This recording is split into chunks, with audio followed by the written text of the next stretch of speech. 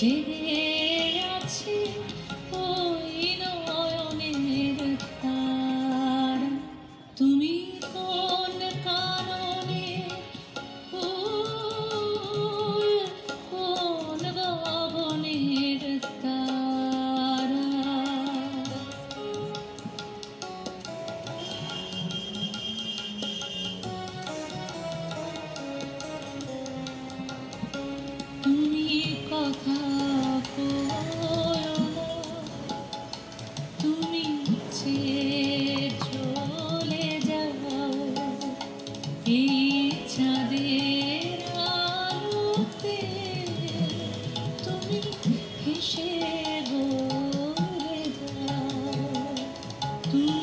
কথা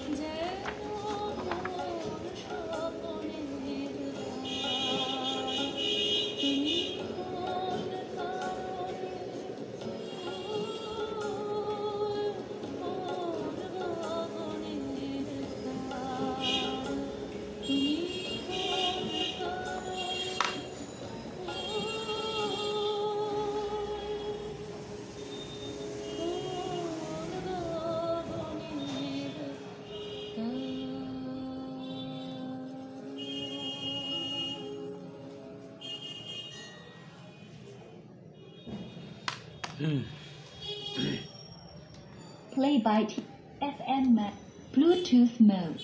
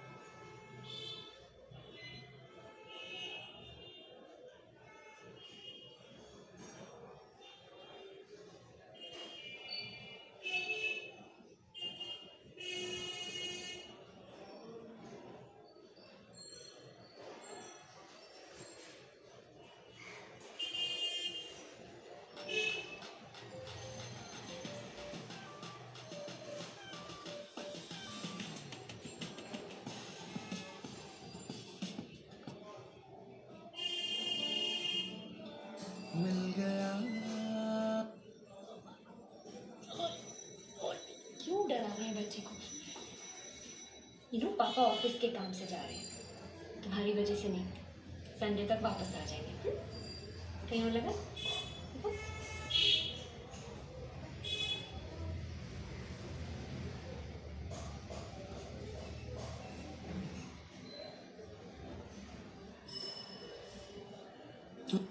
तुझे सब है।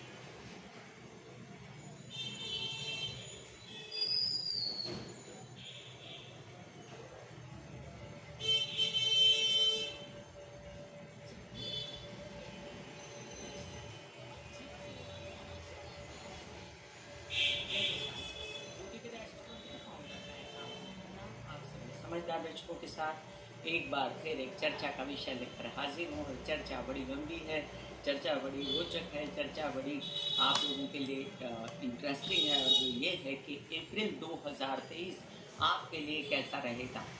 तो चलिए मैं चर्चा का आरंभ करने से पहले आप सबसे नम्र निवेदन कर दूँ कि सब्सक्राइब कीजिए मेरा ये YouTube channel YouTube slash beauty with astrology जब आप सब्सक्राइब करेंगे तो पॉप अप ऊपर ऊपर बेल बटन आएगा और उससे क्लिक करते ही मेरे चैनल की सभी जानकारियाँ आप तक सबसे पहले पहुँचती रहेंगी।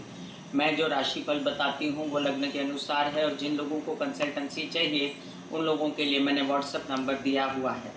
तो जब नया महीना शुरू होता है, तब एक उत्साह होता है, एक उमंग होती है कि फलाने महीने में हम ये करेंगे, फलाने महीने में ये ऐसा होने वाला है इस महीने में शादी करेंगे, इस महीने में गृह प्रवेश करेंगे, इस महीने में ऐसा नहीं करेंगे। तो बहुत सारी बातें होती हैं और अप्रैल महीने का जो पहली तारीख होती है, उसमें अप्रैल फूल मनाया जाता है।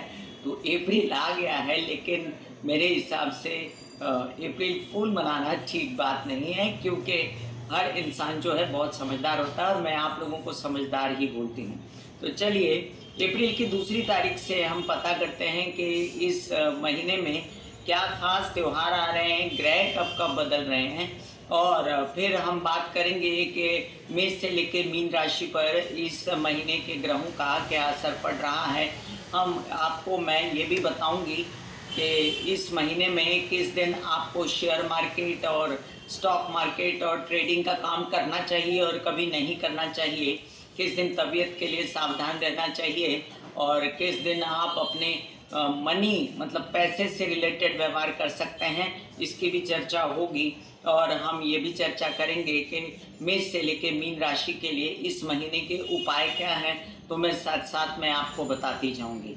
तो हम जानते हैं कि दो तारीख को अप्रैल महीने की कामदा एकादशी है। एक की चर्चा नहीं कर रही, एक को अप्रैल फूल है। दो को कामदा एकादशी है। तीन को सोम प्रदोष व्रत है। सोमवार के दिन जो प्रदोष का व्रत